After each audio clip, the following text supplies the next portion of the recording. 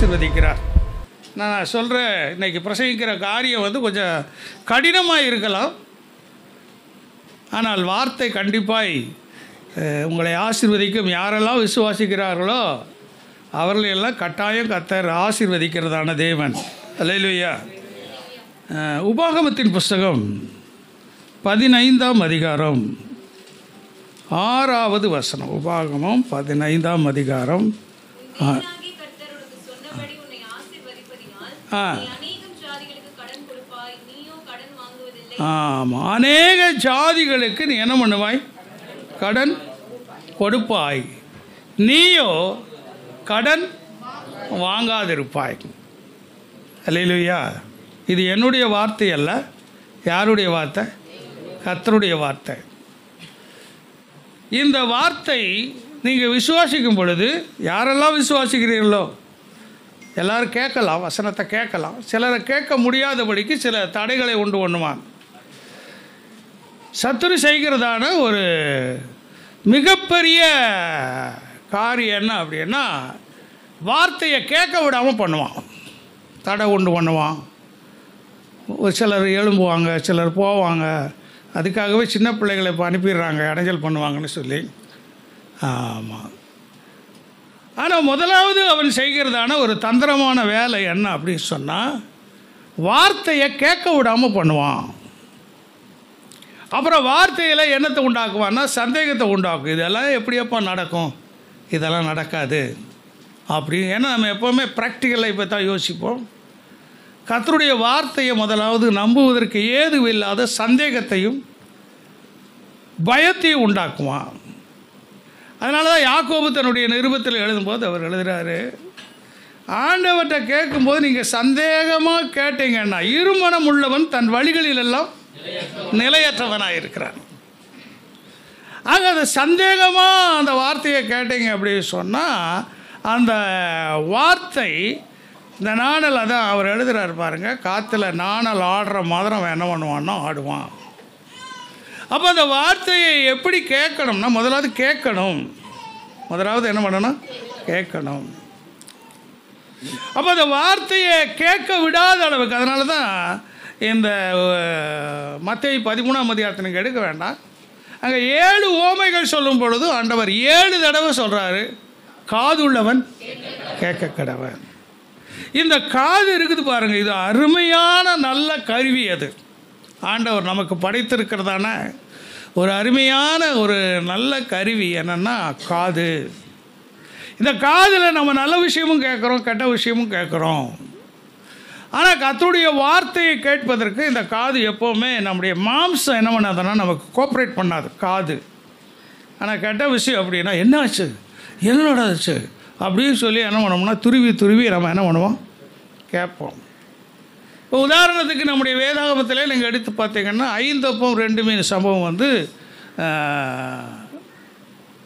நாலு சுவிசேஷத்திலே எழுதப்பட்டிருக்கிறது. இப்போ அன்னைக்கு நம்ம பெண்கள் ஐக்கியத்தில் நாம் தியானித்தோம் நான் ஏழு அப்பவும் சில சிறு மீன்களும். அவங்க மூணு நாள் கூட்டம் மூணு நாள் கூட்டங்களில் ஆண்டவருடைய வார்த்தையை கேட்டுக்கிட்டே இருந்தாங்க. ஆனால் அந்த மூணு நாள் கூட்டத்தில் என்ன பேசினாருன்னு வேதாமத்தில் மார்க் எழுதவே இல்லை. ஏன் எழுதலை அப்படின்னா அவங்க அந்த வார்த்தையை என்ன பண்ணல? கேட்கல மூணு நாள் கூட்டம் மூணு நாள் கூட்டத்திலே வனாந்தரத்தில் ஆண்டவர் பேசிக்கிட்டே இருக்கிறாரு. அதுக்கு பிறகு தான் அப்போ வழியில் சோர்ந்து போவார்களே அப்படின்னு சொல்லி அவங்கள திருப்திப்படுத்தி அவர் அனுப்புகிறாரு ஆனால் மூணு நாள் கூட்டத்தில் பசியோடு கூட உட்கார்ந்து வார்த்தையை கேட்கிற அளவுக்கு ஆண்டவர் என்ன பண்ணியிருக்காருன்னா அந்த கிருபை உள்ள வார்த்தைகளை நிறைய பேசியிருக்கிறார் அவர். ஆனால் என்ன பேசினார் அப்படின்னு சொல்லி என்ன பண்ணல? சப்ஜெக்டே ஆமாம் அல்ல லூஹியா ஆமாம் இந்த பிரசங்கம் முடித்ததுக்கு பிறகு ஒருவேளை ஒருத்தரையோ கூப்பிட்டு பாஸ்ட் என்ன பிரசங்கம் பண்ணார்? என்ன வசனம் உங்களை தொட்டுச்சு அப்படின்னா சூப்பராக பேசினாருங்க. அப்படியே அட்டகாசமாக பேசினாருங்க. சிலக்க செமையாக பேசினாருங்க. ஏன் என்னதான் பேசினார் அப்படின்னா அது அட்டகாசமாக இருந்துச்சு. அது சூப்பராக இருந்துச்சு. நிறைய பேர் சொல்கிறத நான் கேட்டிருக்கிறேன். நீ சூப்பராக இருக்குதுன்னு சொல்கிறையோ அட்டகாசமாக இருக்குதுன்னு சொல்கிறையோ ஆமாம். அப்படின்னு சொல்கிறத காட்டில் என்னையே இந்த வார்த்தை தொட்டுச்சு. அப்படின்னு என்ன தான் உங்கள் பிரசங்கம் சரியாக கேட்டேங்கன்னு அர்த்தம். ஒரு சொல்லுங்க அப்போ. இந்த வார்த்தை என் இருதயத்தில் ஆழத்தில் தொட்டது. அந்த வார்த்தை உங்களுடைய வாழ்க்கையில் ஒரு மாற்றத்தை உண்டு பண்ணும். அலையிலுயா இங்கே வேதவசனம் சொல்லுகிறதை நாம் வாசித்தோம். நீயோ ஆ? உன் தேவராய கத்தர் உனக்கு சொன்னபடி உன்னை ஆசீர்வதிப்பதினாலே நீ அநேக ஜாதிகளுக்கு நீ என்ன பண்ணுவாய்? கடன் கொடுப்பாய். நீயோ என்ன பண்ணுவதில்லை? கடன் வாங்குவதில்லை. அல்லையா அப்போ ஆண்டவர்கிட்ட நம்ம லெகுவாக இந்த பொருளாதார ஆசீர்வாதத்தை பெற்றுக்கொள்வதற்கு லெகுவான வழி என்ன அப்படின்னு சொன்னால் நான் கொடுக்கிறவனாக என்னை மாற்றுங்க ஆண்டவரை. ரெல்லலே சொல்லுவோம் என்னை என்ன பண்ணும்? கொடுக்குறவராக என்னை மாற்றுங்க அப்படின்னு சொன்னால் ஆண்டவர் கொடுக்காத வரைக்கும் நம்மளால் என்ன பண்ண முடியாது? கொடுக்க முடியாது. நம்முடைய நமக்கே இல்லை. அரிசி இல்லை பருப்பு இல்லை மளிகை ஜாமான் இல்லை அப்படின்னு இல்லை இல்லை இல்லைங்கிற பொழப்பில் இருக்கும்போது மறுபடி நம்ம எப்படி?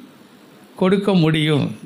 ஆக ஆண்டவர்கிட்ட கேட்டு பெற்றுக்கொள்ளக்கூடிய ஒரு தந்திரமான விஷயம் என்ன அப்படி சொன்னால் ஆண்டவரே என்னையே நீங்கள் என்ன பண்ணுங்க? கொடுக்கிறவனா என்ன என்ன பண்ணுங்க? மாற்றுங்க அப்படின்னு அடடா இவன் கரெக்டாக சென்டர் ஆஃப் த பாயிண்ட்டை பிடிச்சிட்டானே. அதனால் இவனுக்கு கண்டிப்பாக நம்ம என்ன பண்ணணும்? கொடுத்து தான் ஆகணும். அப்போ கொடுத்தா அவன் என்ன பண்ண போகிறான் கொடுக்க போகிறான் இப்போ நாம் ஆரம்ப கால ஊழியத்தில் இருந்தே நான் அப்படி தான் ஜோம் பண்ணேன். அல்லையா இப்போ நம்ம பல ஊழியங்களுக்கு நம்ம என்ன பண்ணி கொண்டிருக்கிறோம்னா ஹெல்ப் பண்ணிகிட்டே இருக்கிறோம். இல்லையா இப்போ திண்டுக்கல் பகுதியில் போனோம்னா நம்ம எதையாவது வாங்கிட்டு போகிறோம் அப்போ அவங்க உடனே நிறைய ஊழியக்காரர்கள் வந்து கூடிடுறாங்க. இப்போ பாஸ்ட் வந்துட்டாருன்னா கண்டிப்பாக நமக்கு ஏதாவது என்ன பண்ணுவார்? கொடுப்பார். ஏன்னா கிராமத்து ஊழியர்களுக்கு நமக்கு ஒரு நூறுரூவா அப்படிங்கிறது சர்வசாதாரணம். அவங்க அந்த நூறுரூவா அப்படின்னு சொன்னோம் அது பெரிய விஷயம் அவர்கள். இல்லை இல்லையா? ஆக நாம் நான் கற்றுக்கொண்ட பாடத்தை தான் உங்களுக்கு சொல்லிக் கொடுக்க போகிறேன் அதனால் நம்மை கொடுக்கிறவனாக மாற்றும் பொழுது ஆண்டவர் உங்களை என்ன பண்ணுவார்னா பொருளாதார ரீதியாக உங்களை என்ன பண்ணுறாரு ஆசீர்வதிக்கிற தேவனாக இருக்கிறார். உபாகமத்தின் புஸ்தகம் இருபத்தி எட்டாம் அதிகாரம் பனிரெண்டாவது வசனம் ஏற்ற காலத்திலும் தேசத்திலே மழை பெய்யவும் நீ கையிட்டு செய்யும் வேலைகள் எல்லாம் ஆசீர்வதிக்கவும் கர்த்தர் உனக்கு தமது நல்ல பொக்கிஷசாலையாகிய வானத்தை திறப்பார் நீ அநேகம் ஜாதிகளுக்கு கடன் கொடுப்பாய் நீயோ கடன் வாங்காதிருப்பாய் பாருங்க இந்த இடத்துல இந்த வசனத்தில் மூணு காரியத்தை ஆண்டவர் சொல்லுகிறார். ஒன்று ஏற்ற காலத்து ஏற்ற காலத்தில் உன் தேசத்தில் என்ன பண்ணும்? மழை பெய்யும். இந்த ஏற்ற காலம் இப்போ மழை பெய்கிறதெல்லாம் என்ன கிடையாதுன்னா ஏற்ற காலம் கிடையாது. ஆமாம் அறுவடை சமயத்தில் மழை பெய்யுது இருக்கிற அறுவடையெல்லாம் நாசமாக்கி விடுது மழை பெய்யுது. ஆனால் அது என்ன மழையாகிறதுனா அழிவின் மழையாக இருக்கிறது ஆனால் கத்துடைய பிள்ளைகளாகிய நம்மை ஆண்டவர் ஆசிர்வதிக்கும் பொழுது நமக்கு எப்போ தேவையோ அப்போ தருகு. இப்போ நமக்கு யாருக்குமே வயக்காடு கிடையாதுங்க. யாரும் கத்திரிக்காயோ எதுவுமே விவசாயம் பண்ணலை. ஆனால் விவசாயம் பண்ணலைன்னா கூட நமக்கு ஆசீர்வாதம் நமக்கு ஏற்ற சமயத்தில் வரும். அதான் ரொம்ப முக்கியமானது. இந்த ஆசீர்வாதம் நமக்கு முந்தி வராது நமக்கு பிந்தி வராது. இந்த தேவனுடைய நேரம் சரியான நேரத்துக்கு நம்ம ஆசீர்வாதம் வரும். எத்தனை பேர் ஆமின்னு சொல்லுகிறீங்க? அடுத்து அதே வசனத்தில் பார்க்கிறோம். நீ கையிட்டு செய்யும் வேலையிலெல்லாம் ஆசீர்வதிக்கவும் கத்தர் உனக்கு தமது நல்ல பொக்கிஷசாலையாகிய வானத்தை திறக்கவும். அப்போ நம்ம கையின் பிரயாசத்தை நம்ம இருபத்தி எட்டாம் சங்கீதம் நம்ம வாசிக்கும் பொழுது அங்கே கூட வசனம் சொல்லுகிறது உன் பிரயாசத்தின் பலனை நீ சாப்பிடுவாய். யார் சாப்பிட்ணும்?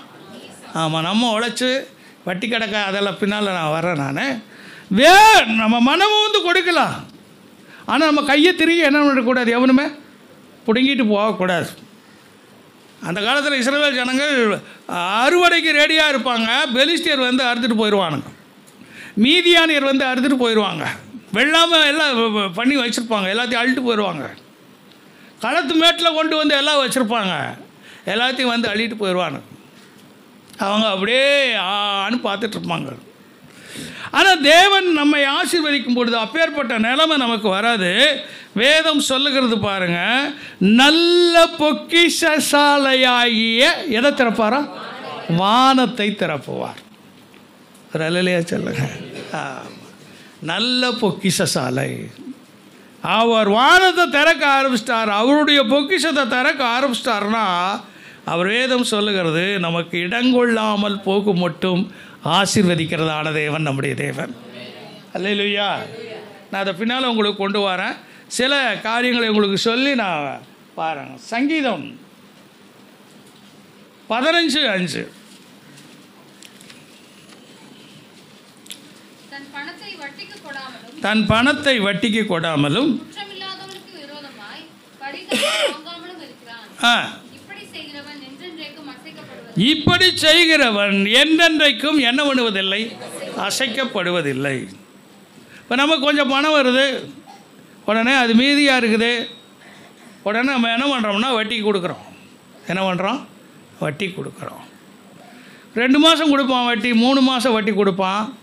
அதுக்கு பிறகு ஆளே முதலும் போச்சுரா? உள்ளதும் போச்சுரா? விளக்கண்ணாங்கிற கதையில். ஆகவே இங்கே வேதம் மிக தெளிவாக சொல்லுகிறது தன் பணத்தை என்ன பண்ணக்கூடாது? ஆமாம் வட்டிக்கு நாம் ஆண்டவருடைய பிள்ளைகளாகிய நாம் என்ன பண்ணக்கூடாதுன்னா வட்டிக்கு கொடுக்கிற தேவனுடைய பிள்ளைகளாக இருக்கக்கூடாது.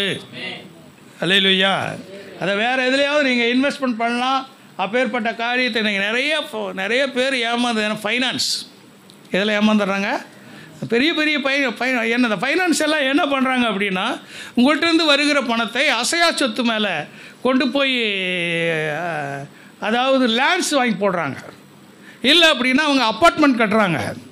அந்த அப்பார்ட்மெண்ட் கட்டும்போது அந்த அப்பார்ட்மெண்ட் வந்து அதாவது கட்ட ஆரம்பிக்கும் பொழுதே அவங்க என்ன பண்ணுறாங்கன்னா அட்வர்டைஸ்மெண்ட் கொடுக்குறாங்க.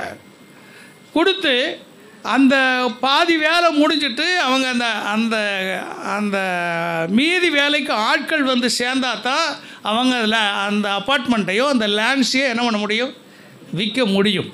அதனால் இவங்க கொண்டு போய் அந்த பணத்தை அந்த பெரிய பெரிய அந்த ஸ்ரீராம் இன்னும் நிறைய பெரிய ஃபைனான்ஸ் எல்லாம் பார்த்திங்கன்னா நம்முடைய பணத்தை கொண்டு போய் இன்வெஸ்ட்மெண்ட் பண்ணிவிட்டு அவங்க அந்த பணத்தை ரிட்டர்ன் கொடுக்க முடியாதனால அவங்க எல்லாரும் என்ன பண்ணிடுறாங்கன்னா காணாமல் போயிடுறாங்க. ஆனால் நாம் இருக்கிற கொஞ்சம் பணத்தை கொண்டு போய் அவன் கையில் கொடுத்து அவன் லாஸ் ஆகி அவன் ஆள் அட்ரஸ் இல்லாமல் போய் நம்ம அதை எதிர்பார்த்து ஒரு பொண்ணு கல்யாணம் இல்லை என் பையன் கல்யாணம் இல்லை ஏதாவது ஒரு விசேஷம் இதுக்காக அவங்க என்ன பண்ணுறாங்கன்னா லேண்ட்ஸ் மேலே கொண்டு போய் நிலத்தை வாங்கி போடுறாங்க. இல்லை அப்பார்ட்மெண்ட்டுக்கு அந்த பணத்தை கொடுக்குறாங்க. அது நிமித்தமாக இவர்கள் என்ன வர்றாங்கன்னா நிறைய நஷ்டப்படுகிறார்கள். நம்முடைய காரியம் என்ன ஆக மாட்டேங்குது ஜெயமாக. ஏன்னா எதில் கொண்டு போய் அவங்க இன்வெஸ்ட் பண்ணுறாங்கன்னா அசையா சொத்தில் இன்வெஸ்ட்மெண்ட் பண்ணுறாங்க ஆனால் விற்பனை செய்யும் பொழுது அவர்களால் என்ன ஏற்ற வேலையில் அவங்களுக்கு என்ன ஆக மாட்டேங்குது? விற்பனை ஆக மாட்டேங்குது. அதனால் இந்த பக்கம் ஒரு வட்டி கட்ட வேண்டியிருக்குது. அந்த பக்கம் அந்த பணம் வராமல் இருக்கிறது. இப்பேற்பட்ட சூழ்நிலையில் நிறைய குடும்பங்கள் பாதிக்கப்பட்டிருக்கிறதை நாங்கள் பார்த்துருக்குறோம். ஒரு அலையிலேயே சொல்லுங்களேன் பார்ப்போம். நிறைய உதா நம்ம சபையில் நடந்த உதாரணங்களே நான் சொல்லணும்னு நினச்சேன். நான் அதெல்லாம் வேண்டாம். ஆனால் உங்களுக்கு வசனத்தை மாத்திரம் நான் காட்டி கொடுக்க விரும்புகிறேன். எசைக்கேலின் புஸ்தகம் பதினெட்டாம் அதிகாரம். எட்டாவது வசனம்.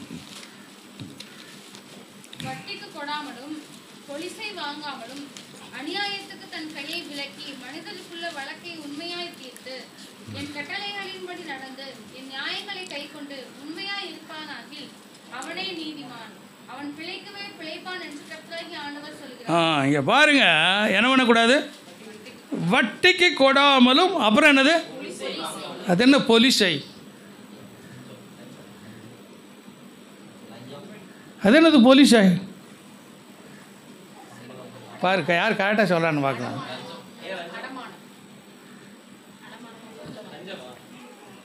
பரிதானம்ங்கிறது லஞ்சம். பொலிசைனா என்னது? அடமானம் இல்லை பாரு கரெக்டாக சொல்கிறான்னு வட்டிக்கு வட்டி. என்னது? ஆமாம் வட்டிக்கு வட்டி. அதுக்கு பேர் தான் என்னதுன்னா பொலிசை. பாருங்கள் வேதாமத்தில் எவ்வளோ அழகான வார்த்தையை ஆண்டவர் கொடுத்துருக்கார் பாருங்கள் வட்டிக்கு கொடாமலும் அப்புறம் என்னது?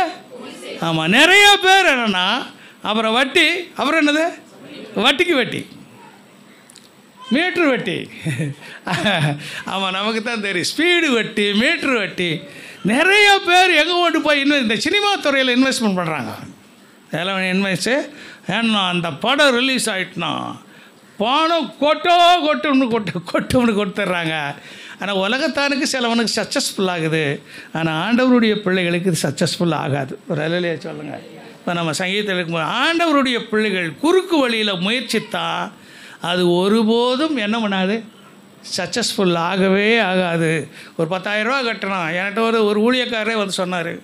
நீங்கள் பாஸ்டர் ஒரு ஐம்பதாயிரரூவா கட்டுங்க பாஸ்டர் உங்களுக்கு ஒரு கோடி ரூபா கிடைக்கும். வண்ணாரப்பேட்டையில் பெரிய சச்சம் கட்டிடலாம் கடைசிக்கு அவர் ஜெயிலுக்கு போகிறது தப்புச்சு. ஒரு எல்லாருக்கும் நம்ம பகுதியில் இருக்கிற நிறைய பேருக்கு தெரியும். நீங்கள் வந்து பாருங்க பாஸ்டர். நான் ஒரு மூணு மணிக்கு தூக்கத்தில் இருக்கேன் ஃபோன் அடிக்கிறார் அவர். பணம் வாங்குறதுக்கு க்யூவில் நிற்கிறாங்க பாஸ்டர். நீங்கள் வந்து பாருங்க பாஸ்டர். அப்போ தான் உங்களுக்கு இன்வெஸ்ட்மெண்ட் பண்ணுறதுக்கு ஆமாம் எனக்கு சாந்தி சகோதரி சொன்ன அந்த விஷயந்தான் எனக்கு. பாஸ்டர் நீங்கள் பண விஷயத்தில் கரெக்டாக இருக்கிறீங்க. அப்படியெல்லாம் கொண்டு போய் கொடுத்துறாதீங்கன்னு ஒரு வார்த்தை சொன்னாங்க. நான் விசுவாசி ஒரு வார்த்தை சொன்னால் கூட எனக்கு கரெக்டாக எடுத்துக்கும். ரலையிலே சொல்லுங்கள் நிறையா விஷயங்களில் நம்முடைய டேவிட் பிரதர் சங்கீதத்தில் என்னை எச்சரிப்பார். உடனே நான் ஓ சரி எனக்கு சொல்கிறாரு ரெடி ஆயிடுவேன் நான். ஒரு அலையில சொல்லுங்கள் சில விஷயங்களை மற்றவர்கள் பேசுகிற வார்த்தைகளை நான் கேட்பேன். எனக்காக என்ன பேசுகிறாங்க அப்படின்னு சொல்லி கேட்பேன். அப்படி கேட்டு நான் அந்த திருத்தி கொள்வதற்கு ஆண்டவர் எனக்கு உதவி செய்திருக்கிறார். அல்லையா அப்போ என்ன வாங்கக்கூடாது? நான் என்ன வாங்கக்கூடாது? ஆ போலீஸை கொலிசியில் போய் மாட்டிக்கொள்ளவும் கூடாது. அதனால் வட்டிக்கு கொடாமலும் அப்புறம் என்னது? பொலிசை வட்டிக்கு வட்டி. என்னது? வட்டி வட்டி கட்டாமல் மட்டும் அதுக்கு ஒரு வட்டி போடுவான் நீங்கள் ஷர்ட்லையெல்லாம் வாங்கினா வாங்கினேன் நான் இது வரைக்கும் ஷர்ட் பக்கம் போனதில்லை. எங்கள் வீட்டில் நகை போட்டுட்டு வரவும் இல்லை. நகை போய் இந்தி இந்தி போய் படிக்க போனதும் இல்லை. வட்டிக்கு போனதும் கிடையாது. அதனால் சேட்டுக்கிட்ட போனவங்களுக்கு தெரியும். வட்டிக்கு வட்டி. அல்லையா சங்கீதம் முப்பத்தி ஏழு இருபத்தி ஒன்று சங்கீதம்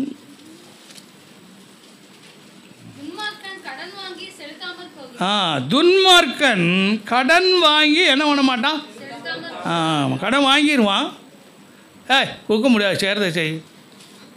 நீ என்ன வரைய நான் பார்த்துக்கோ. இப்படி மிரட்டுற ஆட்கள் நிறைய பேரை நம்ம பார்த்துருக்குறோம். ஆனால் நாம் துன்மார்க்கர் அல்ல. நாம் யாருன்னா தேவனுடைய பிள்ளைகள்.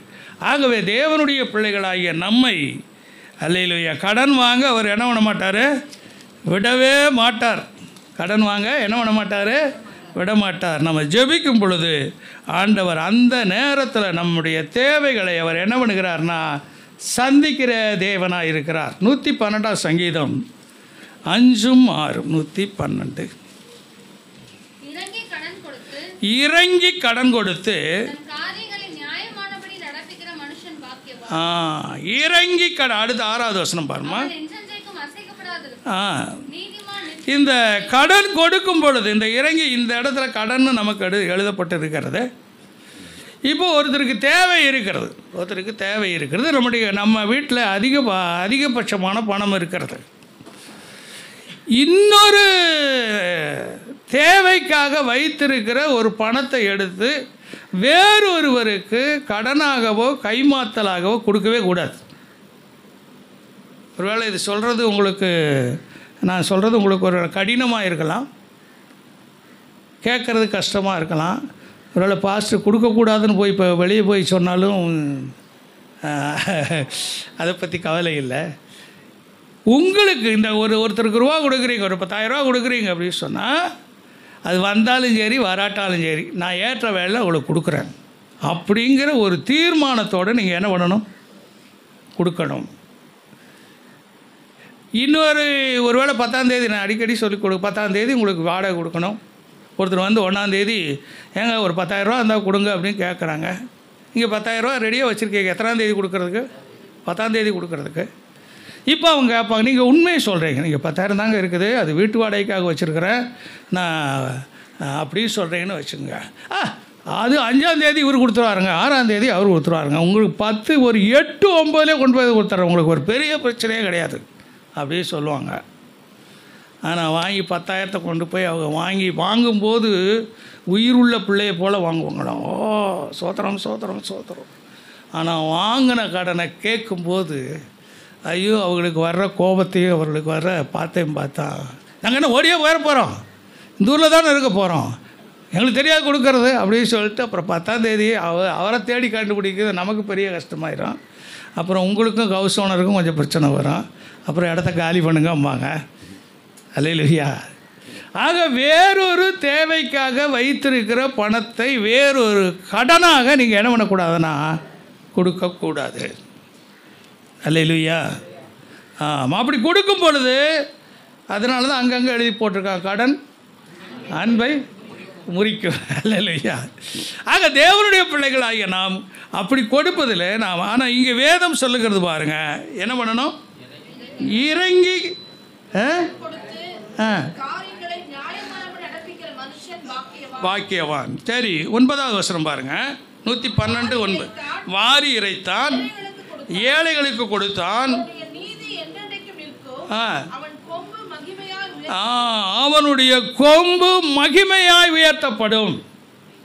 அல்லேலூயா முடிஞ்ச வரைக்கும் நம்மளால் முடிஞ்ச வரைக்கும் வேதம் மிக தெளிவாக சொல்லுகிறது உங்களுடைய இல்லாததின்படி அல்ல உங்களுக்கு உள்ளவைகளில் எடுத்து ஒருத்தர் கஷ்டப்படும் பொழுது ஒருத்தர் ஃபீஸ் கட்ட முடியல இழுத்து ஒரு ட்ரெஸ் எடுக்க முடியல நீங்கள் அவங்கள பார்க்குறீங்க உங்களால் முடியுது அப்படின்னு சொன்னால் தாராளமாக நீங்கள் அவர்களுக்கு கண்டிப்பாக என்ன பண்ணணும்னா உதவி செய்கிற தேவனுடைய பிள்ளைகளாக இருக்க வேண்டும்.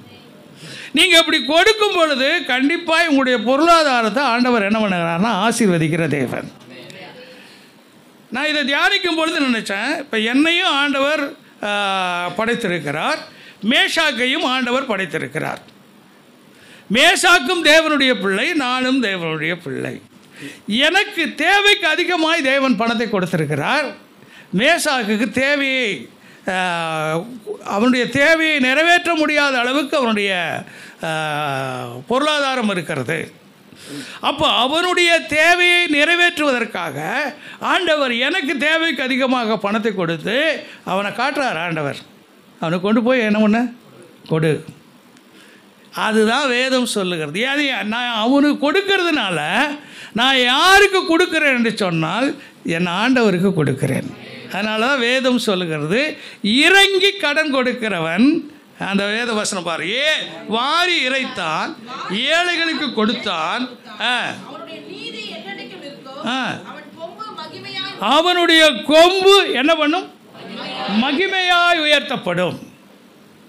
அல்லையா அவனுடைய கொம்பு என்ன பண்ணா இப்போ அவன் வாங்கிட்டு என்ன பண்ணுவான் ஒருவேளை அவனுக்கே தெரியாமல் இருக்கும். இன்னார் தருவான்னு சொல்லி நீங்கள் கொடுக்க ஆரம்பிக்கும் பொழுது அவன் போய் அவன் வீட்டில் சொல்லுவான் என்னுடைய தேவை ஒன்று இருந்துச்சு. ஆனால் இன்னார் மூலமாக என்னுடைய தேவைகள் சந்திக்கப்பட்டதுன்னு சொல்லி எல்லாருமா சேர்ந்து சோத்திரம் பண்ணும் பொழுது அந்த சோத்திரத்தினால உங்களுக்கு என்ன பண்ணுகிறதுனா கிருபை பெருகுகிறதா இருக்கிறோம் சொல்லுங்களேன். அப்போ நீங்கள் யாருக்கு கொடுக்குறீங்கன்னு கொடுக்கணும்னா யாருக்கு கொடுக்கணும்? கத்தருக்கு கொடுக்கணும். நான் சபைக்கு கொடுக்குற காரியத்தையே பேச பேசுறதில்ல. இப்போ ஆமாம் நீங்கள் நல்லா நிறைவாக கொடுக்குறீங்க. அதனால் எனக்கு அதை பற்றி எந்தவித டவுட்டும் கிடையாது. ஏதோ அதுக்காக பிரசங்கத்தை தயாரிக்கிறார் அப்படிங்கிறதா இல்லை. இன்னும் நிறைய ரகசியமான சில காரியங்களை உங்களுக்கு சொல்ல இருக்கிறேன். கவனிங்க. நீதிமொழிகள் பத்தொன்பதாம் அதிகாரம் பதினேழாவது வசனம். ஆ அவன் கொடுத்ததை அவர் திரும்ப கொடுப்பார் ஆம் அவன் கொடுத்ததையே என்ன பண்ணுவான்னா அவனுக்கு என்ன பண்ணுவான்? திருப்பி கொடுப்பான். அல்லேலூயா. பாருங்க ஒரு வசனம் ரெண்டு இடத்துல வேதாகமத்தில் எழுதப்பட்டிருக்குது அப்படின்னா அது ரொம்ப கன்ஃபார்ம்னு அர்த்தம். ஒரு அல்லையே சொல்லுங்க. இப்போ நாம் நூற்றி பன்னெண்டாம் சங்கீதத்திலேயே நாம் அதே வசனத்தை பார்த்தோம். இங்கே நீதிமொழிகள் பத்தொம்பது பதினேழுல நம்ம பார்த்தோம். அங்கே வேத வசனம் சொல் ஏழைக்கு இறங்குகிறவன் யாருக்கு கொடுக்கிறார் நீங்கள் கொடுக்கிற தன்மையை பொறுத்து இருக்கிறது. அதான் அந்த கொடுக்கிற விஷயம் இருக்குது பாருங்க. நீங்கள் கொடுக்கறது ஒரு அஞ்சு ரூபாயா இருக்கலாம். ஆனால் நீங்கள் எப்படி கொடுக்குறீங்க? அதுதான் ரொம்ப முக்கியமான விஷயம். சரியான நேரத்தில் கொடுக்குறீங்களா? இல்லையா இப்போ உதாரணத்துக்கு ஒருத்தன் பசியாக இருக்கிறான் அப்படின்னு சொல்லி ஆண்டவர் உணர்த்துறார். அந்த உணர்த்த ஆரம்பிக்கும் பொழுது இப்போ கொடுப்போமா? நாளைக்கு கொடுக்குமா நாளை கழித்து கொடுப்போமா? அப்படின்னு சொல்லி நீங்கள் யோசிச்சுட்ருக்கேன்னு இருக்கீங்கன்னு வச்சுங்க.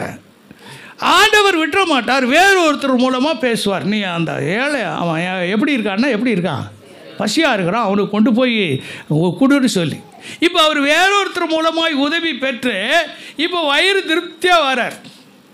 நல்லா சாப்பிட்டு இப்போ கொண்டு போய் ஆண்டவர் கொடுக்க சொல்கிறத நீங்கள் எப்படி கொடுக்குறீங்கன்னா எப்படி கொடுக்குறீங்க? பசியாக இருக்க வேண்டிய நேரத்தில் கொடுக்காம எப்போ கொடுக்குறீங்க?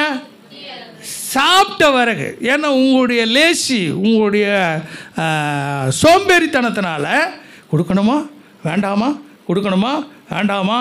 அப்படின்னு சொல்லி யோசிக்கும் பொழுது இப்போ அதுக்கு கிடைக்கிற பிரதிபலன் கண்டிப்பாக உங்களுக்கு ஒன்றுக்கு ஒன்று கொடுப்பார். சில வேளை ஒன்றுக்கு அஞ்சு கொடுப்பார். ஒரு வேளை ஒன்றுக்கு பத்து கொடுப்பார். ஒரு வேளை ஒன்றுக்கு நூறு கூட கொடுப்பார். ஒரு அலையிலையா சொல்லுங்களா அது எப்படி அப்படின்னா நீங்கள் கொடுக்கிற தன்மையை பொறுத்து இருக்கிறது. எத்தனை பேர் ஆமன் சொல்லுங்கிறீங்க? எப்படி? சரியான நேரத்தில் ஆண்டவர் சொல்லுகிற உடனே நீங்கள் கொடுத்து பழகிட்டீங்க அப்படின்னு சொன்னால் ஆண்டவர் அதனுடைய ஆசீர்வாதம் மல்டிப்ளை ஆகிடும் ஒருவேளை ஒன்று அஞ்சாக இருக்கலாம் பத்தா இருக்கலாம் அதனால தான் வேதம் சொல்லுகிறது பாருங்க. நீங்கள் எப்படி கொடுக்கிறீர்கள் என்று சொன்னால் ஏழைக்கு இறங்குறவன் கத்தருக்கு அவன் கொடுத்ததை அவர் என்ன பண்ணுவார்னா திரும்ப தருவார். ஆண்டவர் யாருக்கும் பாக்கி சாக்கி வைக்கவே மாட்டார். சொல்லுங்களேன். ஆமாம் இல்லைப்பா.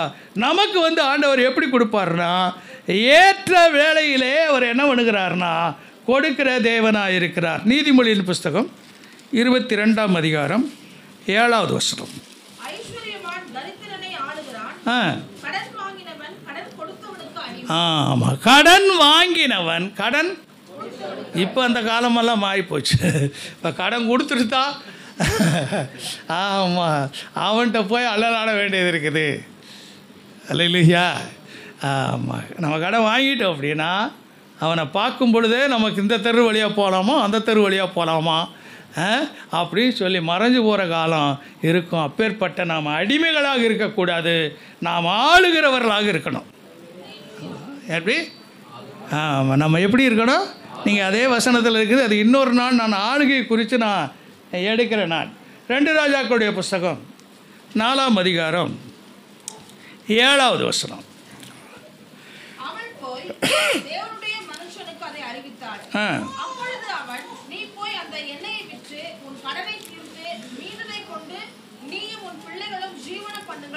ஆமாம் இங்கே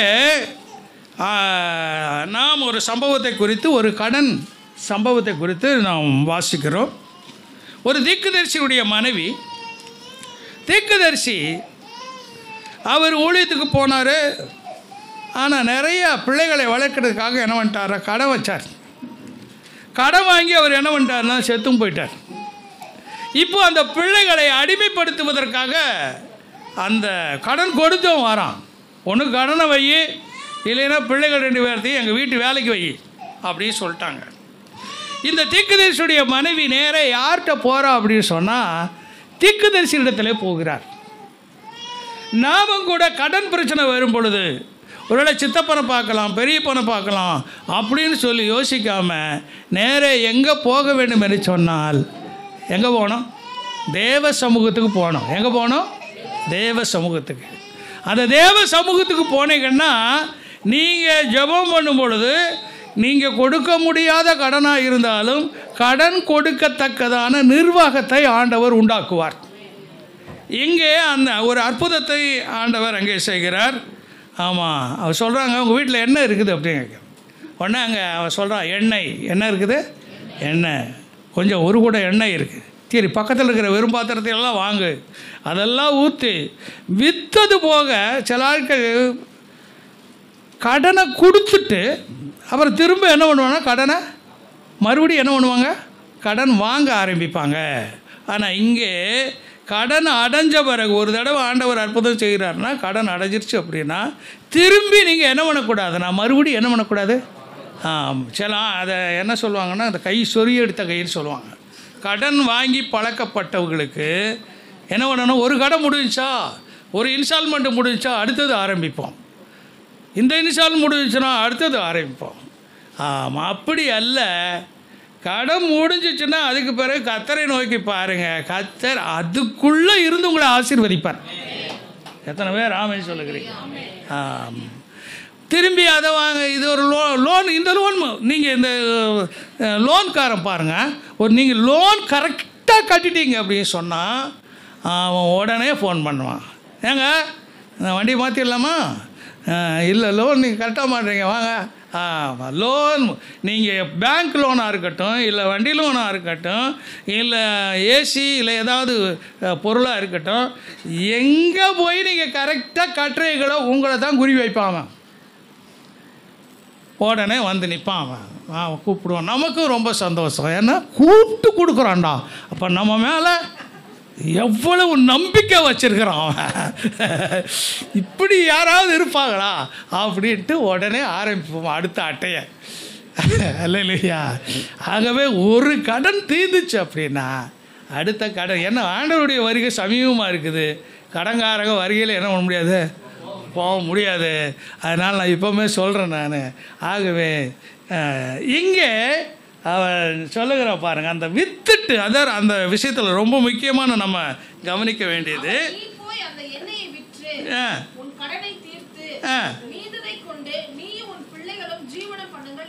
ஆமாம் அந்த மீதி இருக்கிறது ஆண்டவர் நமக்கு நிச்சயமாய் மீதி உண்டாக்க பண்ணுவார்.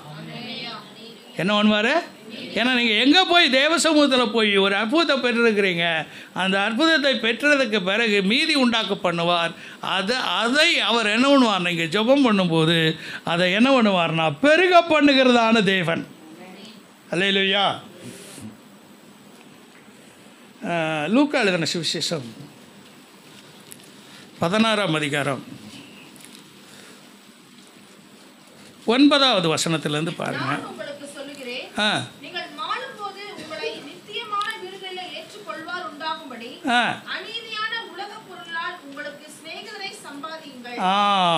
அநீதியான உலக பொருட்களினாலே நீங்கள் என்ன பண்ணுங்கன்னா சிநேகிதரை சம்பாதியுங்கள். அல்லேலூயா. இந்த பொருள் எப்போவுமே அழிந்து போகிற பொருள். அழிந்து போகிற பணம்.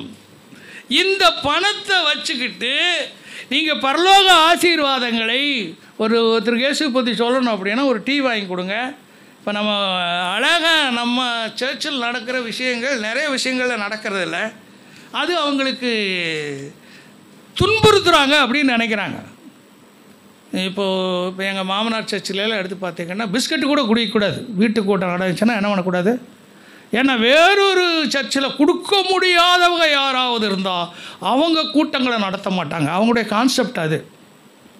என்னது? வீட்டு கூட்டம். இப்போ நே வெள்ளிக்கிழமை பெண்கள் கூட்டம் நடத்தினாங்க. பெரிய விருந்து சாப்பாடு தான் அன்றைக்கி வராதவங்களுக்கு நான் சொல்கிறேன் நான். இப்போவும் அம்மா அப்படியே நாக்கு ஊறுது. அவ்வளவு சூப்பரான சாப்பாடு போட்டாங்க. அவங்க வீட்டில் மாத்திரமல்ல யார் வீட்டில் ஜெப கூட்டம் நடந்தனாலும் கண்டிப்பாக என்ன பண்ணுறாங்கன்னா என்ன பண்ணுறாங்க அது எப்படி கட்டாயத்தினாலா? எப்படி? மனமும் வந்து. அப்படி கொடுக்கும் பொழுது இருக்கிற பலியிலேயே நல்ல புதிய ஏற்பாட்டு பலியில் போஜன பலி ரொம்ப முக்கியமானது.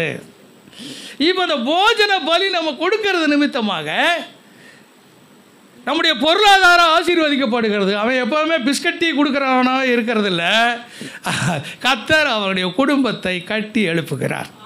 அதில் சில புதிய ஆத்துமாக்கள் வருகிறது. அவங்களுக்கு இயேசு பற்றி சொல்லுகிறோம்.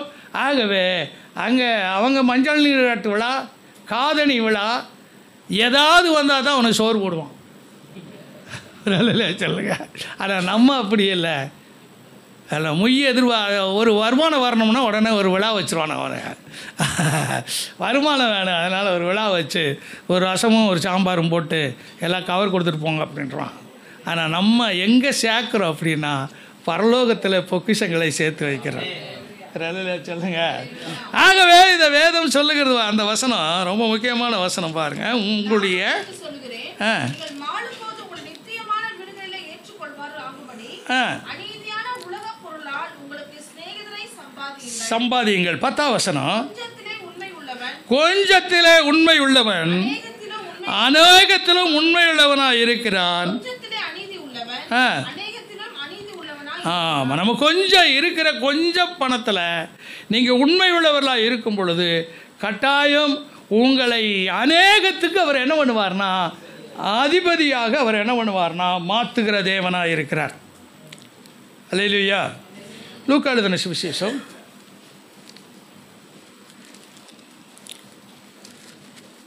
ஏழாம் அதிகாரம். இங்கே நான் வேறு விதமாக இதை நான் தியானித்தேன் பாருங்கள்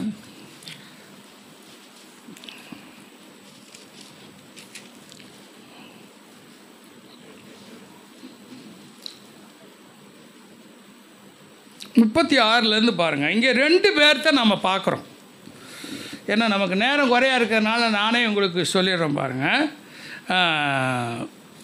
அங்கே ஒருவன் பரிசெயரில் ஒருவன் தன்னோடு கூட போஜனம் பண்ண வேண்டும். முப்பத்தி ஆறு அவரை வேண்டிக் கொண்டான்.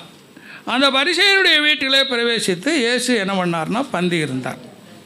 இந்த பந்தி இருக்கும் பொழுது அங்கே ஒரு பாவியான ஒரு ஸ்திரீ அங்கே வருகிறார். யார் வாரா? அவ என்ன பண்ணுறான்னா அந்த சகோதரி வர்றா அந்த ஒரு பரிமள தைலத்தை கொண்டு வந்து பாதத்தில் ஊற்றி தலைமயிரினாலே துடைத்து அவருடைய பாதங்களை முத்தம் செய்து பரிமள தைலத்தை பூசுகிறான் இப்போ இந்த பரிசெயர் என்ன நினைக்கிறான் அப்படின்னா அவங்க வீட்டில் நடந்த ஃபங்க்ஷன் அவனுக்கே தெரியாமல் ஒரு சகோதரி வராங்க. அது அந்த சகோதரி எப்பேற்பட்டவங்கன்னா அந்த ஊர்லேயே அவங்க பேரே பேர் என்ன வச்சுருக்கிறாங்கன்னா என்ன பேர்? பாவியான ஸ்திரீ. பாருங்க அந்த ஊரில் பேரே என்னது? பாவியான ஸ்திரீ. ஒருவேளை நாம் இதை வேசி அப்படின்னு சொல்லி கூட வச்சுக்கலாம். ஆமாம் தன்னுடைய உடலை விற்று பணம் சம்பாதிக்கிறவர்கள் அப்படின்னு சொல்லி நம்ம வச்சுக்கலாம். ஏன்னா அந்த நாட்களில் இப்போ இங்கே இன்றைக்கி எப்படி மும்பை பட்டணத்தில் ரெட் லைட் ஏரியா அப்படி இருக்கிறதோ இயேசு வாழ்ந்த அந்த காலத்தில் கூட இப்பேற்பட்ட பெண்கள் ஆமாம் அவர்கள் என்ன பண்ணாங்கன்னா அதுக்குன்னு அந்த கோயிலில் பொட்டு கட்டி விடுறதுன்னு சொல்லுவாங்க. நம்ம யோவான் எட்டாம் அதிகாரத்தில் கூட நம்ம ஒரு வேசியை குறித்து பார்க்குறோம். இப்படி வேதாகமத்தில் நிறைய காரியங்களை பாரு. யாருன்னு சொன்னால் அந்த சமுதாய கட்டுப்பாட்டு நிமித்தமாக அந்த சமுதாயத்தின் ஒடுக்கத்தின் நிமித்தமாக தனக்கே விருப்பம் இல்லாத தனக்கே அதுக்கு பிரியம் இல்லாத ஒரு பாவமான காரியத்தை அந்த சகோதரி செய்து கொண்டிருக்கிறாள். இப்படி செய்து கொண்டிருக்கிறதான வேலையில் ஆண்டவர் இங்கே ஒரு கடனை குறித்து சொல்கிறார் அதான் ரொம்ப முக்கியமானது பாருங்கள் நாற்பத்தி ஓராவது வசனம். இரண்டு பேர் கடன் பட்டிருந்தார்கள். அவர் ஐநூறு வெள்ளிக்காசும் பாருங்க இந்த பரிசேயன் கடன் பட்டது எப்படின்னா ஐம்பது வெள்ளிக்காசு இந்த சகோதரி கடன் பட்டது எவ்வளவுன்னா எவ்வளவு? ஐநூறு வெள்ளிக்காசு. இப்போ நமக்கு கொடுத்த சரீரத்தை நமக்கு ஆண்டவர் சரீரத்தை இலவசமாக கொடுத்துருக்கார். இந்த சரீரத்தை நாம் தேவனுக்கென்று பயன்படுத்துகிறதுக்காக தான் ஆண்டவர் கொடுத்துருக்கிறார். ஆனால் நம்ம தேவனுக்கென்று பயன்படுத்தாமல் அநீதிக்கென்று நம்ம பயன்படுத்துகிறோம்னா தேவனிடத்தில் நாம் அநேக கடன்களை கடன்பட்டவர்களாய் மாற்றப்படுகிறோம். எத்தனை பேருக்கு நான் சொல்கிறது புரியுது? தேவன் நமக்கு இந்த சரீரத்தை எப்படி கொடுத்துருக்காரு? இலவசமாக கொடுத்துருக்காரு. நமக்கு இருக்கிற உடல் ஊனமற்றவர்களாக நல்ல பார்வை உள்ளவர்களாக நல்ல அவயவங்களை ஆண்டவர் கொடுத்துருக்கிறார். அப்போ நான் இப்போ நான் ஒரு கம்பெனியில் வேலை பார்க்குறோம்னு வச்சுங்க அவன் நம்மளுக்கு சம்பளம் கொடுக்குறான். நீங்கள் அந்த கம்பெனியில் ஒரு ஒரு லட்ச ரூபா சம்பாதிச்சு கொடுத்தா தான் ஒரு ப்ராஃபிட்டு ஒரு ஒரு லட்ச ரூபா ப்ராஃபிட் பண்ணி கொடுத்தா தான் உங்களுக்கு அவன் எவ்வளோ சம்பளம் கொடுப்பான்னா பத்தாயிரரூவா கொடுப்பான். இப்போ நீங்கள் ஒரு லட்ச ரூபா சம்பாதிச்சு கொடுக்காம உங்களுக்கு கொடுக்குற பத்தாயிரத்துலேயே நீங்கள் நிறைய ஜாப்பை கண்டம் பண்ணிட்டீங்க. செய்யக்கூடிய வேலையை தப்பு தப்பாக செய்கிறீங்க அங்கே இருக்கிற ஜாப் எல்லாம் கண்டமாகி போச்சு. உங்கள் நிமித்தமாக கம்பெனிக்கு லாஸ் ஆகி போச்சு அப்படின்னா நீங்கள் யாராக மாறி உங்கள் சம்பளத்தில் கட் பண்ணிகிட்டே இருப்பாங்க. நீங்கள் அந்த கம்பெனியிலேயே நீங்கள் யாராக மாறிடுறீங்கன்னா கடனாளியாக மாறிடுறீங்க. யாராக மாறிடுறீங்க? அப்போ உங்களுக்கு சரியான சம்பளம் கிடைக்காது. சம்பளத்தில் ஏன்னா உங்கள் வேலை திறன் சரியில்லை. நீங்கள் கம்பெனிக்காக சரியாக ப்ரொடக்ஷன் கொடுக்கல. ஒரு அலையிலேயே சொல்லுங்களேன்? எத்தனை பேருக்கு நான் சொல்கிறதுன்னு புரியுது. ஒரு டெக்னிக்கல் லைனில் இருக்கனுக்கு புரியும். இப்போ நம்ம சரீரத்தை ஆண்டவர் நமக்கு இலவசமாக கொடுத்துருக்கார். இந்த இலவசமாக கொடுத்ததை நாம் ஆண்டவருக்கு பிரயோஜனம் உள்ள பாத்திரமாக நாம் பயன்படுத்தணும். அப்படி பயன்படுத்தலை அப்படின்னா ரெண்டு பேர் கடனாக இங்கே நம்ம ரெண்டு கடன்களை குறித்து பார்க்க அவன் பரிசெயனாக இருந்ததுனால தேவாலயத்தினுடைய வேலைகளை செய்தான். ஆனால் அவன் பிரமாணத்தின்படி செய்யாதனால அவனுடைய க கடன் எப்படி இருந்துச்சுன்னா குறைவாக இருந்தது. இப்போ இந்த சகோதரி தன்னுடைய சரீரத்தை இவள் கட்டது மாத்திரமல்ல அநேகரை கெடுக்கக்கூடிய காரியத்தை இவள் செய்ததுனால இவருடைய கடன் பட்ஜெட்டு என்ன ஆகிப்போச்சு ஜாஸ்தி ஆகிப்போச்சு ஆனால் இந்த கடனை தீர்க்கறதுக்கு தான் அவ எனக்கு அதை வாசித்தோன்னு எனக்கே ஆச்சரியமாகி போய்விட்டது. அவர் ப பதினே நாற்பத்தி ஏழாவது வசனம் பாருங்க.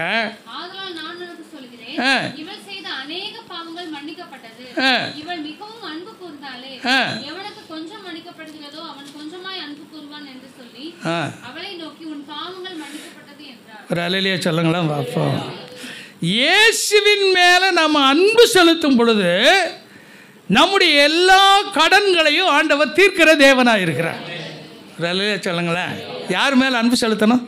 இயேசுவின் மேலே நீங்கள் கூடுதல் அன்பு செலுத்தும் பொழுது அவர் என்ன பண்ணுகிறாருன்னா நாற்பத்தி ரெண்டாவது வசனம் பாருங்கள் கொடுக்க அவர்களுக்கு நிர்வாகம் இல்லாத பொழுது இருவருக்கும் கடனை மன்னித்து விட்டால். இப்படி இருக்க அவர் அவர்களில் எவன் அவனிடத்தில் அதிகமாய் அன்பாக இருப்பான் என்று சொல். அப்போ நம்முடைய கடன் இதை நம்ம வேறு விதமாக நான் தியானிச்சிருக்கிறேன். உங்களுடைய கடன்கள் அடைக்கப்பட வேண்டும் என்று சொன்னால் நீங்கள் அவர் மேல் கூடுதல் அன்பு செலுத்தணும். எத்தனை பேர் ஆமேன்னு சொல்லுகிறீங்க? ஆகாய் ரெண்டு எட்டின் படி வேதம் சொல்லுகிறது பொன்னும் வெள்ளியும் யாருக்குள்ளதுனா கத்தருக்குள்ளது யாருக்குள்ளது? இந்த பூமியில் தான் எல்லாத்தையும் வச்சுருக்காரு. வெங்கலமாக இருந்தாலும் சரி இரும்பாக இருந்தாலும் சரி பொன்னாக இருந்தாலும் சரி வெள்ளியாக இருந்தாலும் சரி தண்ணியாக இருந்தாலும் சரி பெட்ரோலாக இருந்தாலும் சரி எல்லாமே எதுக்குள்ளே தான் எது கூட வச்சுருக்காரு? பூமிக்குள்ளே தான் வச்சுருக்காரு எதுவுமே வானத்திலேருந்து பொத்து பொத்துன்னு விடுறதில்ல மழை கூட என்னென்னா இந்த பூமியில் அது ஆவியாகி தண்ணி ஆவியாகி அதுக்கு திரும்ப மழையாக வருது. எல்லாமே எங்கேருந்து வருதுன்னா இந்த பூமியில் இருந்தால் வருது. ஆகவே இந்த பூமியிலிருந்து வருகிற இந்த ஆசீர்வாதங்கள் யாருக்காக தேவன் ஆயத்தம் பண்ணி வச்சுருக்காருன்னா உங்களுக்காகவும் எனக்காகவும் தேவன் ஆயத்தம் பண்ணி வச்சுருக்கிறார். அப்போ நீங்கள் அவரிடத்துலேருந்து லெகுவாய் பெற்றுக்கொள்ளுகிற வழி என்னென்னா அந்த பெரிய கடனை அடைக்கிறதுக்கு. இந்த அம்மா பெரிய பாவி அதிலிருந்து விடுதலை வரணும். அப்போ அவருடைய பாவமெல்லாம் மன்னிக்கப்படணும். ஒன்றா அந்த அம்மா ரொம்ப நாள் யோசித்தாங்க நிறைய விலைக்கரையை கொடுக்கணும். என் ஆண்டவருக்கு நான் என்ன பண்ணணும் இவன் பன்னெண்டு பேர்த்துக்கு சோறு போட்டான் பரிசெயன்.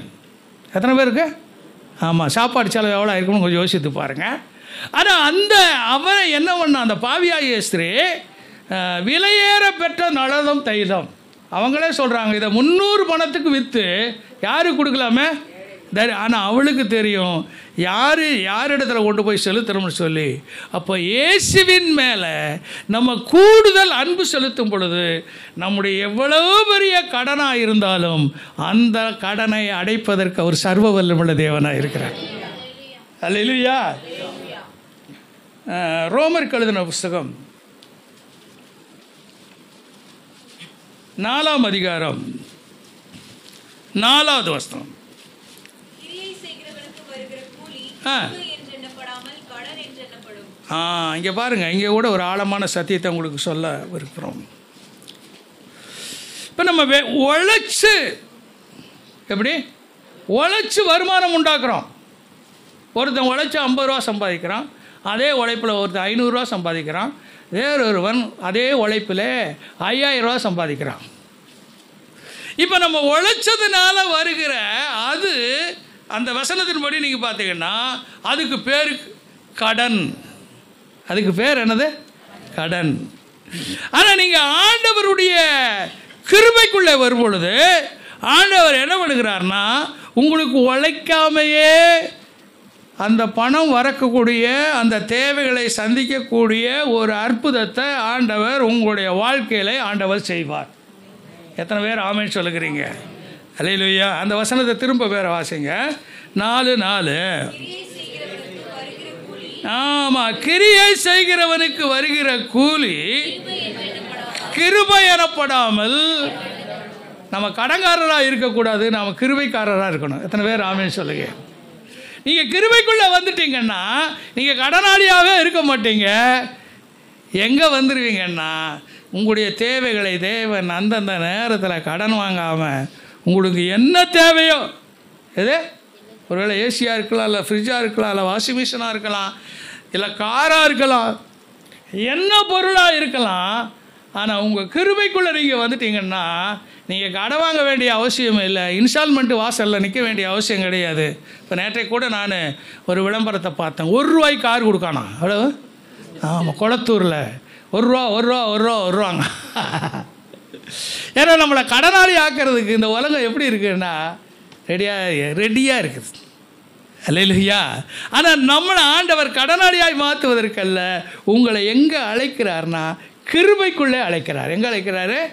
ஆமாம் கிருபைக்குள்ளே நீங்கள் வந்துட்டீங்கன்னா ஆண்டவர் அதனால தான் ஆண்டவர் சொல்கிறாரு என் நுகத்தை ஏற்றுக்கொள்ளுங்கள். என்னிடத்தில் கற்றுக்கொண்டு என் நுகத்தை ஏற்றுக்கொள்ளுங்கள். என் நுகம் லெகுவாயும். என் சுமை? ஆமாம் அவர்கிட்ட போய் கற்றுக்கணும் அவர்கிட்ட போய் உட்காரணும். ஆண்டவரே இந்த பண பிரச்சனையிலிருந்து நான் எப்படி விடுவி விடுவிப்பது? இந்த கடன் தொலையிலிருந்து எப்படி நான் விடுவிப்பது? அப்படின்னு சொல்லி ஆண்டவருடைய சுமூகத்தில் நாம் அன்பு கூறு அவர்கிட்ட அன்பு செலுத்திட்டா போதும். எப்படி? அன்பு செலுத்திட்டா போதும். உங்கள் எல்லா கடன்களை அடித்து ஆண்டவர் என்ன பண்ணுகிறார்னா உபரியான வருமானத்தை ஆண்டவர் உங்களுக்கு தருகிற தேவனாக இருக்கிறார் ரோமர் கழுதின புஸ்தகம். பதிமூணாம் அதிகாரம். எட்டாவது வசனம்.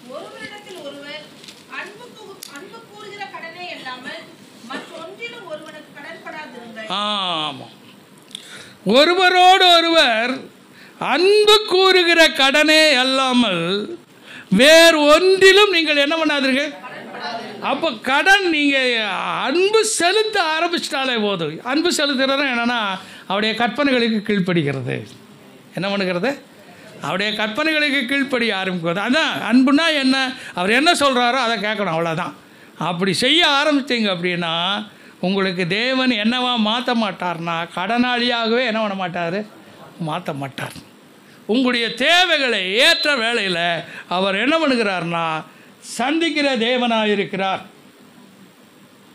ரோமர் கழுதுற புஸ்தகம் பதினைந்தாம் அதிகாரம் இருபத்தி ஆறாவது வருஷம்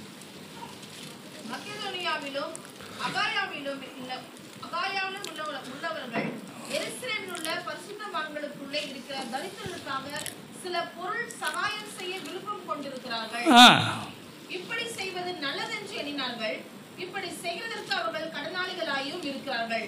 எப்படி என்றால் புறச்சாதியார் அவர்களுடைய ஞான நன்மைகளில் பங்கு பெற்றிருக்க சரீர நன்மையினால் அவர்களுக்கு உதவி செய்ய இவர்கள் கடனாளிகளாக இருக்கிறார்கள். ஆமாம் பாருங்க ஞான நன்மை. என்ன ஞான என்ன நன்மை? இந்த வேத எழுத்துக்கள் உங்களுக்கு ஞான நன்மை. இந்த வேத எழுத்துக்களை நீங்கள் கற்றுக்கொண்டு வேத வசனத்தின்படி நீங்கள் நடக்க ஆரம்பிச்சிட்டிங்கன்னா அல்லையிலுயா அதனால தான் பொண்ணு குருந்தின் புஸ்தகம் ஒன்பதாம் அதிகாரம்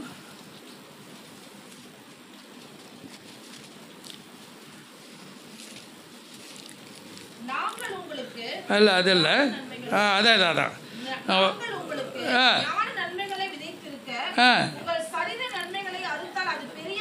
அது. பெரிய காரியமா. உங்களுக்கு நாங்கள் என்ன நன்மைகளை விதைக்கிறோம் என்று சொன்னால் ஞான நன்மைகளை விதைக்கிறோம். என்ன நன்மை? ஞான நன்மை.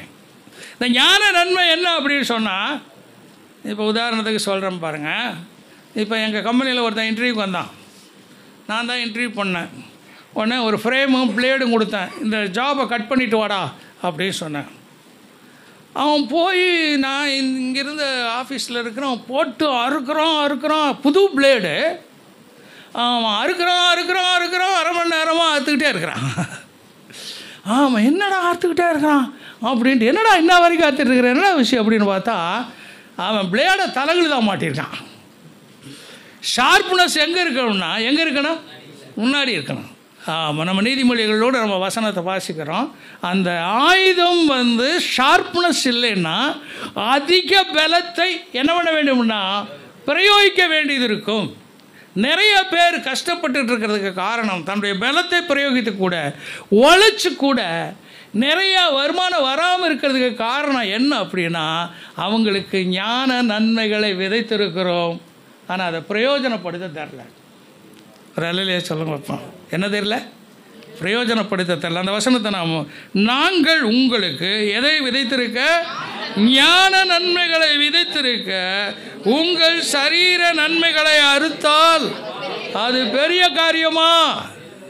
இல்லையா அப்போ இந்த வேத வசனத்தின்படி நீங்கள் அப்ளை பண்ணினீங்க அப்படின்னு சொன்னால் கண்டிப்பாக ஆண்டவர் உங்களுக்கு என்ன பண்ணுகிறார்னா உதவி செய்கிற தேவனாக இருக்கிறார். கடலே சொல்லுங்களேன். கடைசியாக ஒரே ஒரு பகுதியை நாம் பார்த்து நாம் முடிக்க போகிறோம் மத்திய எழுதின சுவிசேஷம். பதினேழாம் அதிகாரம்.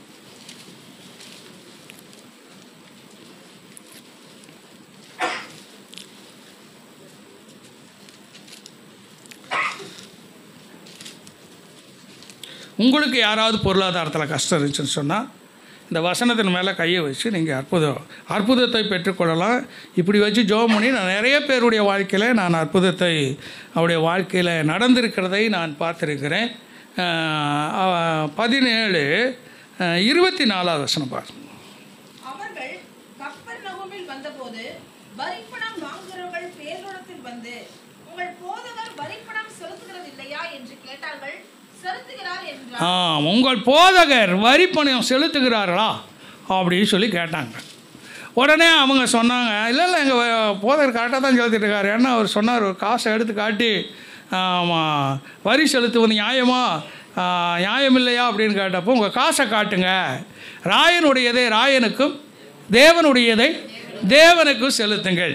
இப்போ பாருங்கள் இருபத்தஞ்சு பாருங்கள் வீட்டுக்குள் வந்த பொழுது அவன் பேசுகிறதுக்கு முன்னமே அதுதான் ரொம்ப முக்கியமான விஷயம். உங்கள் தேவையை நீங்கள் ஆண்டவர்கிட்ட சொல்லுகிறதுக்கு முன்னாலே உங்கள் தேவைகளை அறிந்த தேவன் நம்முடைய தேவை அல்லையா உங்களுக்கு என்ன தேவை அப்படின்னு ஆண்டவர் பேசுகிறதுக்கு முன்னமே அவன் நீங்கள் கேட்குறதுக்கு உலக பிரகாரமான தேவை இல்லை உடையாக இருக்கலாம் இல்லை உணவாக இருக்கலாம் இல்லை ஆவிக்குரிய தேவைகளை ஆண்டவர் கேட்டால் தான் தருவார். விசுவாசம் வேணும். எனக்கு அற்புத அடையாளங்கள் செய்கிற வர வேணும். ஞானம் வேணும் அறிவு வேணும். இந்த ஆவிக்குரிய தேவைகளை நீங்கள் கேட்டால் மட்டும்தான் கிடைக்கும். கேட்காம என்ன பண்ணாது? கிடைக்காது. அதனால தான் ஆண்டவர் சொன்னார் கேளுங்கள் உங்களுக்கு கொடுக்கப்படும் தட்டுங்கள் உங்களுக்கு திறக்கப்படும். அலையிலுயா ஆனால் உலக பிரகாரமான தேவைகளுக்காக அவர்கள் வீட்டுக்குள் வந்த பொழுது அவன் பேசுகிறதுக்கு முன்னமே இயேசு அவனை நோக்கி சீமோனே உனக்கு எப்படி தோன்றுகிறது? பூமியின் ராஜாக்கள் தீர்வையும் வரியும் தங்கள் பிள்ளைகளிடத்திலா? அந்நியரிடத்திலா? யாரிடத்தில் வாங்குகிறார்கள்? என்று கேட்டார். அதற்கு பேதரு அந்நியரிடத்தில் வாங்குகிறார்கள் என்றார். என்னது? ஆமாம் வரி. இப்போ நம்மளுக்கு வந்து மறைமுக வரி தான் நம்ம நிறைய செலுத்திட்டு இருக்கிறோம். நேர்முகமாக என்ன கிடையாது. வரி ரொம்ப கம்மி. நீங்கள் ஒரு சோப்பு வாங்கினாலும் நீங்கள் ஷாம்பு வாங்கினாலும் சரி நீங்கள் ஒரு பேனா வாங்கினாலும் சரி அதில் எல்லாமே வரி இருக்குது. ஹோட்டலில் சாப்பிட்டாலும் வரி தான் ஜிஎஸ்டி அந்த நாளில் நாங்கள் சின்ன வயசில் இருக்கும்போதெல்லாம் சைக்கிள் வச்சுருந்தா அதுக்கு ஒரு ஒரு ஒரு கொடுப்பான் வரி. அது இருந்தால் தான் ரோ ரோட்டில் சைக்கிள் ஓட்டிகிட்டு போக முடியும். அப்புறம் மூ டிரான்சிஸ்டர். அது இருக்குது பாருங்கள் அது கீ கீ கீன்னு சத்தம் கேட்டாலே அந்த ஊரில் இருந்து கிராமம் வ வரி வசூல் பண்ணுறோம் வந்துடுவான் ரேடியோவுக்கு வரி கட்டணும். ஆமாம் சைக்கிள் வரி கட்டணும். அப்படி நேரடி வரி இருந்துச்சு. ஆனால் இன்றைக்கி எல்லாமே என்னென்னா அதுக்கு வரியில் இதுக்கு வரியில் அப்படின்னு சொல்லிட்டு மறைமுகமான வரியை நம்ம அரசாங்கமானது வசூலித்து கொண்டிருக்கிறது. அது நிமித்தமாக நிறைய பாதிக்கப்பட்டவர்கள் இருக்கிறார்கள். ஆனால் இங்கே ஆண்டவர் சொல்கிறார் அது அதற்கு பேதரு அந்நியரிடத்தில் வாங்குகிறார்கள். சொந்த ஊர்க்கார இப்போ சுவிட்சர்லாந்து அப்படின்னு சொல்லி வச்சுங்க அந்த நாட்டில் இருக்கிற வரி கட்ட தேவையில்லை. அந்த அந்த தேசத்தினுடைய உரிமை உள்ளவன். நிறையா நாடுகளில் அப்பேற்பட்ட காரியங்களை சவுதி அரேபியாலெல்லாம் அந்த பூர்வீக குடிகள் என்ன வேண்டிய தேவையில்லை? வரி கட்டது இங்கே நம்மள்ட்ட எவ்வளோ வரி வாங்கணுமோ அத்தனை வரியை வாங்கி நம்மளை அதாவது எல்லாத்தையும் உருண்டி உறிஞ்சிட்டு தான் விடுவானு இவனுக்கு சரி. பாருங்க இருபத்தி ஏழாவது வசனம் பாருங்க. ஆகிலும் ஆ. ஆ. நீ கடலுக்கு போய் தூண்டில் போட்டு முதலாவது அகப்படுகிற மீனை பிடித்து அதன் வாயை திறந்து ஒரு வெளிப்படத்தை காண்பாய். அதை எடுத்து எனக்காகவும் உனக்காகவும் அவரிடத்தில் கொடு என்றார். ஒரு அல்லையா சொல்லுங்களேன் ஆம், ஆண்டவர் உடனே ஒரு அற்புதத்தை நிறுத்துகிறார் ஆ, நான் நிறையா நேரம் இந்த பண இந்த வசனத்தை வச்சு ஜெபம் பண்ணி என்னுடைய பண தேவைகளை நான் பூர்த்தியாக்கி இருக்கிறேன் உனக்கு மட்டும் வரி வேணும்னா ஒரு மீன் வயிற்றில் கொடுக்கணுமா? ஆமாம் ஏன் எனக்கு பணம் தேவை இருக்குது? எனக்கு தேவை இருக்குது. எனக்கு ஒரு அற்புதத்தை கண்டிப்பாக நீங்கள் என்ன வேணுங்க? செய்யுங்க. அப்படின்னு சொல்லி ஆண்டவர்கிட்ட கேட்கும் பொழுது அது நிறைய பேருடைய பண தேவைகளுக்கு அவருடைய தனிப்பட்ட குடும்பங்களில் ஜபிக்கும் பொழுது ஆண்டவர் தேவைகளை சந்தித்திருக்கிறார். ஆகவே நீங்கள் கடனாளியாக இருப்பது தேவருடைய சித்தம் அல்ல. அலையிலுயா கடன் கொடுக்கிறவர்களாக தேவன் உங்களை மாற்ற விருப்பமுள்ளவராக இருக்கிறார். அப்படியே எழும்பு நின்று உடைய கரங்களை உயர்த்தி ஆண்டவரே என்னை கடன் கொடுக்கிறவனாக கொடுக்கிற கையா அந்த கை அப்படியே க கையை பார்ப்போம் எனக்கு கொடுக்கிற கையா மாற்றுங்க ஆண்டவரை. எனக்கு உதவி செய்கிற கையா மாற்றுங்க ஆண்டவரை. ஓ பரலோகத்தில் பொக்கிஷத்தை சேர்க்கிற கையாக எங்களை மாற்றுங்க ஆண்டவரை. Glory to God